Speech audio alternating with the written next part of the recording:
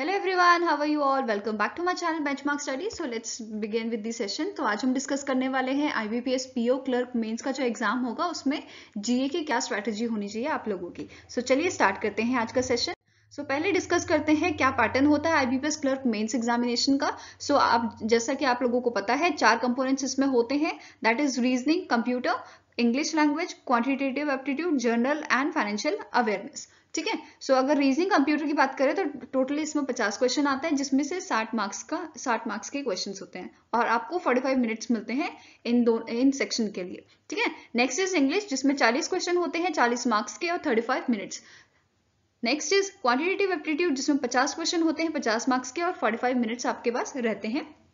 ये थोड़ा लेंदी हो सकता है आपका क्योंकि कैलकुलेशन बेस्ड होता है रीजनिंग और क्वांटिटेटिव एप्टीट्यूड वाला session then next is general awareness financial awareness ठीक है जिसमें टोटल आपके 50 क्वेश्चन आएँगे और 50 मार्क्स के और 35 मिनट्स इसमें आपको टोटल मिलेंगे. सो so, टोटल आपके 160 मार्क्स का पेपर होता है जिसमें आपके टू वन ड्यूरेशन होती है एंड टू मार्क्स का आपका पेपर होता है जिसमें वन नाइन्टी आप अटेम्प्ट करते हो ठीक है? सो बेसिकली आपका जो दो सेक्शन होते हैं इंग्लिश और जर्नल अवेयरनेस ये ऐसे दो सेक्शन है जिसमें आपको ज़्यादा मतलब कैलकुलेशन करने की ज़रूरत नहीं पड़ती। बस जो आता है वो आपका करेक्ट आंसर और फटाफट इसमें आप, आप जो आपके करेक्ट ऑप्शन होता है वो टिक कर देते हो। ठीक है? नेक्स्ट इज़ रीजनिंग और जो आपका क्वांटिटेटिव एप्टीट्यूड है थोड़ा लेंदी होता है क्योंकि कैलकुलेशन बेस्ड होता है और काफ़ी इसमें रीजनिंग की बात करें तो काफ़ी ऐसा होता है कि आपको पॉसिबिलिटी चेक करनी होती है। ठीक है?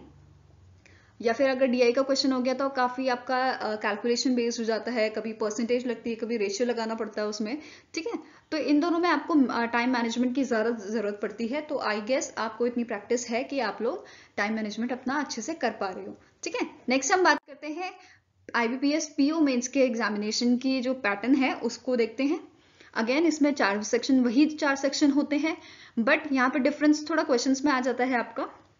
जैसे नंबर ऑफ़ क्वेश्चन यहाँ पे 45 होते हैं और 60 मार्क्स का आपका ड्यूरेशन मार्क्स रहते हैं, ठीक है? और आपको यहाँ पे वन आवर मिलता है 60 minutes for reasoning session next is English language की बात करें तो 35 नंबर के क्वेश्चंस होते हैं और 40 मार्क्स का आपका ये 35 क्वेश्चन रहते हैं, ठीक है? एंड 40 मिनट्स आपको इसके लिए मिलते हैं. Next is data analysis and interpretation ठीक है? जिसमें 35 क्वेश्चन रहते हैं 60 मार्क्स के आपके एंड 45 मिनट्स में आपको ये कवर करना होता है. Next is general economy banking awareness जिसमें 40 क्वेश्चन आपको मिलेंगे 40 मार्क्स के ठीक है एंड 35 मिनट्स में। तो ठीक है total is your 180 minutes plus यहाँ पे आपका राइटिंग uh, पोर्शन भी आ जाता है लेटर राइटिंग या ऐसे राइटिंग ठीक है? तो वो आपके दो क्वेश्चन आएँगे एक लेटर या एक ऐसे ऐसे आ जाएगा ठीक है? एंड मार्क्स इसके 25 होते हैं जो कि आपके 30 मिनट्स में आपको लिखना होता है। तो ये टाइपिंग बेस्ड होता है आपका बेसिकली तो नाउ अब डिस्कस करते हैं हम जनरल अवेयरनेस के लिए क्या की पॉइंट्स हैं जो आपको फॉलो करने चाहिए। सो so, बेसिकली मैंने यहाँ पे चार पॉइंट्स लिखे हैं जो आपको वैसे इजीली समझ आ रहे होंगे। सो so, पहले हम डिस्कस करते हैं कि जो आपको करंट अफेयर्स होती है वो कितने मंथ्स की कवर करनी होती है। तो नॉर्मली आपको फोर मंथ की कवर करनी होती है बट अगर आपके पास टाइम है तो आप मैं बोलूँगी कि आप सिक्स मंथ की कवर कर लीजिए। ठीक है? इसको कवर करने के लिए आप वीडियोस की हेल्प ले सकते हैं या पीडीएफ्स की, वो आपकी मर्ज़ी है। बट अगर आप वीडियोस देख रहे हैं तो मैं प्रेफर करूँगी आप उस वीडियो पे ज़्यादा फोकस कीजिए जहाँ पे क्वेश्चंस कराए जा रहे हैं as compare to detail videos क्योंकि अभी आपके पास इतना टाइम नहीं होगा कि आप सारी वीडियोज़ को गो थ्रू कर पाए। ठीक है? नेक्स्ट नेक्स्ट थिंग इज़ अगर आप पीडीएफ से पढ़ते हो तो आप उसमें पीडीएफ डाउनलोड करके उसमें मार्किंग कर सकते हो कौन सा मेन पॉइंट या इंपॉर्टेंट पॉइंट्स आपके होते हैं। ठीक है? तो ये आपको टाइम बचाने में काफ़ी हेल्प करता है, अगर आप पीडीएफ से पढ़ते हैं तो। नेक्स्ट इज़ अगर आपने ये पढ़ने वाला पोर्शन कवर कर चुका है तो आप at least three two four times इसका रिवीजन कीजिए, ताकि आपके माइंड में ये चीज़ें अच्छे से बैठ जाए और कुछ भी चीज़ स्किप ना हो। अगर आप चाहते हो लिखना, कि आपको लिख के याद होता है तो प्लीज़ वो प्रेफर कर लीजिए और शॉर्टकट नोट्स मतलब शॉर्ट नोट्स बनाइए इसके। ऐसे नहीं कि आप डिटेल लिख रहे हो, क्योंकि फिर लिखने में ही सारा टाइम चले जाएगा आपका। ठीक है? नाउ लास्ट थिंग इज़ आपको प्रैक्टिस करना है एमसीक्यूज सो so, ये भी अगेन या तो वीडियोस का देख सकते हो आप। ठीक है बहुत सारी ऑर्गेनाइजेशन के आते हैं अड्डा टू फोर सेवन के या अफेयर्स क्लाउड के या बाइजूस के। तो बहुत सारी आपके पास ऐप अवेलेबल है डाउनलोड कीजिए और इसके क्विजेस दीजिए। डेली भी आते हैं ठीक है? वीकली भी आते हैं मंथली आप इनके क्विजेस दे सकते हो, ठीक है? सो उससे आपकी बेसिकली प्रैक्टिस हो जाती है एंड डिफरेंट ऑर्गेनाइजेशन से क्विज देने का ये फ़ायदा होता है कि इन केस अगर एक ऑर्गेनाइजेशन ने कोई न्यूज़ छोड़ दी होगी तो वो आपको दूसरे ऑर्गेनाइजेशन के क्विज में कवर हो जाती है। प्लस उसके एक्सप्लेनेशन ज़रूर देखिए, क्योंकि एक्सप्लेनेशन में आपको क्या होता है, चार चीज़ें और बताई होंगी उससे रिलेटेड तो जैसे हमें पता है कि अनप्रडिक्टेबल होता है, कोई भी क्वेश्चन आ सकता है करंट अफेयर्स में, ठीक है? ज़रूरी नहीं है कि जो करंट में न्यूज़ होगी, उसी से रिलेट उससे रिलेटेड होगा बट ऐसा नहीं होगा कि जो न्यूज़ आई है, वही क्वेश्चन आपका बन के आ जाएगा, ठीक है? तो इतना इतना तो ईजी नहीं होता है पेपर अगर आपका लक अच्छा होगा तो ईजी भी आ सकता है। ठीक है? तो लास्ट थिंग इज़ आपका प्रैक्टिस आपको अच्छे से करनी है। एंड uh, जैसे फेसबुक वगैरह में आपने कोई uh, ऐसे किसी ने कम्युनिटी पोस्ट डाल दिया यूट्यूब पे या फेसबुक पे कोई पोस्ट डाल दिया उस पर अगर आप अटेम्प्ट करो तो मैं प्रेफर करूँगी कि वो आप नहीं कीजिएगा क्योंकि उसमें ऐसा होता है मैक्सिमम वैसे तो आंसर बहुत टाइम ऐसा होता है कि आंसर वहाँ पे गिवन करेक्ट नहीं होता है और आप कंफ्यूज हो जाते हो कि आपने जो आंसर दिया है वो सही है कि नहीं। ठीक है? तो ऐसी चीज़ें मत कीजिएगा। एंड लास्ट मोमेंट पे ज़्यादा आप ऐसे मतलब बस क्विज ही दीजिएगा, ऐसा मत कीजिएगा कि आप पढ़ने बैठे हो लास्ट मोमेंट पे भी, ठीक है? उससे क्या होता है कि प्रेशर ज़्यादा बढ़ता है और एग्ज़ाम टाइम पे ऐसा होता है नर्वसनेस ज़्यादा होती है आप लोगों में, ठीक है? जब आप क्वेश्चन अटेम्प्ट कर रहे हो कि टाइम कैसे मैनेज होगा, ये, सो, दस चीज़ें दिमाग में चल रही होती है तो काम डाउन होकर अपना एग्ज़ाम दीजिएगा। नाउ अभी S B I P O का एग्ज़ाम हुआ था आप सभी को पता है ठीक है? तो उसके एनालिसिस के कुछ क्वेश्चंस हैं, कुछ टॉपिक्स हैं, जिनसे क्वेश्चंस आए थे तो आप इन्हें एक बार देख लीजिएगा, क्योंकि कभी कभी ऐसा भी होता है कि जो क्वेश्चन एस बी में या मतलब इससे पहले वाले एग्ज़ाम में कोई क्वेश्चन पूछा गया तो वो रिपीट भी हो सकता है, ठीक है? तो इसमें से क्या पता आपके दो तीन क्वेश्चन जो इसमें आए हैं, वो सेम आ जाए या उससे रिलेटेड कुछ आ जाए, ठीक है? तो वो चीज़ आप कवर करके जाइएगा। तो first thing is Samudrayaan project से आया था।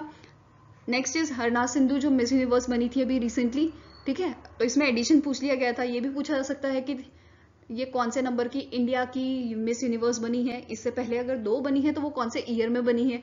तो ये भी क्वेश्चन पूछे जा सकते हैं। Next is forty seventh Ramsar site ठीक है? ये यूपी में है साइड पता होगा आपको। Next is Booker prize which country give the royal gold medal to Balakrishnan Doshi तो अभी रिसेंटली इंडिया ने भी इनको आर्किटेक्ट uh, का कोई अवार्ड दिया था ठीक है? कुछ ईयर्स में पहले तो वो भी आपको याद रखना है। Now next is Australia US की जो समरीन डील हुई थी उसमें क्या इशू आया था? उससे रिलेटेड क्वेश्चन था यहाँ पे। ओमनी क्रोन ये आपको पता होना चाहिए क्योंकि करंट न्यूज़ में ये चल रहा है काफ़ी इसके केसेस भी काफ़ी आ रहे हैं। ठीक है? नेक्स्ट इज़ अलन मस्क को uh, कौन सी मैगजीन ने person of the year award दिया है? ठीक है? सो टाइम मैगजीन ने दिया है तो इस पे बेस्ड क्वेश्चन है देखो।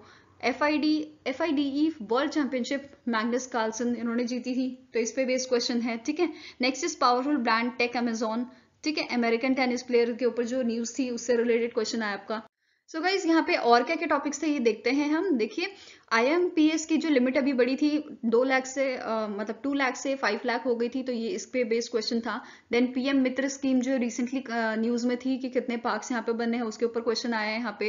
Next is prompt corrective action इसके ऊपर बना है। एंड जीडीपी रेट तो ये चीज़ तो आप याद रख लेना कि ऐसा क्वेश्चन तो आपका आएगा ही जिसमें आपकी पूछी जाएगी कि फाइनेंशियल ईयर ट्वेंटी या ट्वेंटी की जो जीडीपी रेट है वो किस ऑर्गेनाइजेशन ने कितनी गैस की है या आ, कितनी उन्होंने प्रोजेक्ट की है ठीक है? सो इस टाइप का क्वेश्चन आपको मिलेगा ही। नेक्स्ट इज़ कौन सी एसोसिएशन ने रिलीज़ किया है NSO GDP quarter one two twenty point one percent या ऐसे ही ठीक है? इस टाइप का question next is wholesale price index किसने किस ऑर्गेनाइजेशन ने रिलीज़ किया है? देन एक और देखो योजना का क्वेश्चन आया यहाँ पे। स्फूर्ति योजना से रिलेटेड क्वेश्चन बनाए देन बैंक मर्ज हुआ है बीओबी के साथ। तो बीओबी का भी रिसेंटली न्यूज़ में था, ठीक है? अब देखो यहाँ पे क्वेश्चन डायरेक्ट नहीं बना बीओबी से रिलेटेड यहाँ पे क्या पूछा गया कि 2019 में कौन से बैंक मर्ज हुए थे बीओबी के साथ, ठीक है? सो देना बैंक और विजय बैंक मर्ज हुए थे। तो ये आपको आंसर पता होना चाहिए इसका। Next is the stake of SBI in Jio कितना स्टेक SBI ने लिया है? तो ऐसे काफ़ी क्वेश्चन है। कोटेक महिंद्रा का भी था कि कितना स्टेक परसेंट किसी ऑर्गेनाइजेशन में इन्होंने क्या किया है? हंड्रेड परसेंट स्टेक ले लिया है। तो इस टाइप के क्वेश्चन काफ़ी, देखो, इसमें पूछा गया आपका, ठीक है? देन डिफेंस से रिलेटेड क्वेश्चन प्रधानमंत्री आवास योजना करंट में करंट न्यूज़ में था तो इससे रिलेटेड क्वेश्चन आया आपका। देन देखो स्टैटिक का भी आया है कि seventh schedule of Indian constitution तो ये अनएक्सपेक्टेड है। कुछ ऐसे क्वेश्चन होंगे कि जो ऐसा होगा कि अनप्रिडिक्टेबल होते हैं, ठीक है? तो वो ऐसा होता है, अगर आपको आते हैं तो भी अच्छा अगर नहीं आते तो कुछ क्वेश्चन कुछ परसेंट ऐसा होता है, या तीन चार क्वेश्चन आप बोल दो। कि ऐसे होते हैं जिसका आंसर सभी को नहीं आता होगा मैक्सिमम को, ठीक है? तो इसमें कोई डरने वाली बात नहीं है। आपको कम से कम मतलब थर्टी तो स्कोर करना है थर्टी थर्टी प्लस ठीक है? और वो ईजी होता है, ठीक है? Next is total number of branches in PSP and PSU तो ये आपको पता होना चाहिए। देन एक और क्वेश्चन था सीआरपीसी की। फुल फॉर्म आपको पूछी गई थी, ठीक है? तो ज़्यादा क्वेश्चन हार्ड नहीं थे। बस ये है कि थोड़ा अगर आपका ध्यान रहेगा उस चीज़ पे, या आपने जैसे एक क्वेश्चन है उसकी एक्सप्लेनेशन जो डिटेल दी गई है, अगर आप उसे गो थ्रू करोगे तो दो क्वेश्चन या तीन क्वेश्चन तो आपके वहाँ पे कवर हो जाते हैं, ठीक है? तो जब भी आप किसी पीडीएफ को पढ़ते हो तो एक बार डिटेल में उसे गो थ्रू क्या करो एंड उससे रिलेटेड और क्या क्वेश्चन बन सकते हैं? जैसे कोई स्टेट की न्यूज़ आई है, ठीक है? किसी स्टेट न्यूज़ ने लाइक किसी स्टेट गवर्नमेंट ने डेवलपमेंट के लिए किसी बैंक से डील किया ठीक है? तो उस स्टेट का हेड लाइक सीएम कौन है गवर्नर कौन है, क्या वाइल्ड लाइफ सेंचुरीज वहाँ पे है तो इसका थोड़ा सा आप एक्स्ट्रा पढ़ लो, या किस बैंक के साथ डील है, उसका हेडक्वार्टर कहाँ हुआ है, या उससे रिलेटेड कोई न्यूज़ तो नहीं है, ठीक है? तो ये सब सारी चीज़ें आपको कवर करनी है। सो गाइज़ आई होप आपका हम जो मेरा स्ट्रेटेजी सेशन है, वो हेल्पफुल होगा, ठीक है? एंड अगर आपके कुछ डाउट है तो आप हमें मेल कर सकते हैं। यहाँ हमारी मेल आईडी गिवन है benchmark study zero zero seven at the rate Gmail dot com पे, या आप हमें कमेंट सेक्शन में भी लिख सकते हैं, और हमने अपनी रिवीजन सीरीज़ ऑलरेडी स्टार्ट कर चुकी है। सितंबर मंथ कंप्लीट हो गया है एंड अक्टूबर कंप्लीट हो गया है।